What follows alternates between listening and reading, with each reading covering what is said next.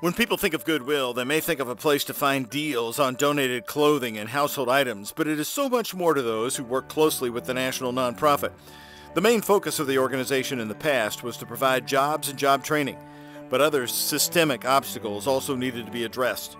Barriers such as the lack of a high school diploma, a criminal history, a disability, and struggles with stable housing, transportation, and childcare exacerbate the problem, making it difficult to achieve success.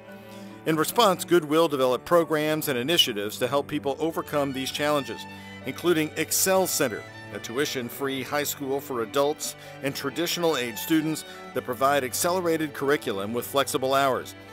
The Excel Center program began in Indianapolis in 2010 and is operated by Goodwill Education Initiatives, the nonprofit division created by Goodwill of Central and Southern Indiana. Charters have been approved to open three more in Bloomington, Columbus, Indiana, and Marion. The model has already expanded to several other states. In January of 2018, Goodwill of Central and Southern Indiana celebrated 25 graduates at the Excel Center in Clarksville, which opened in 2017. The center now enrolls about 310 adult students.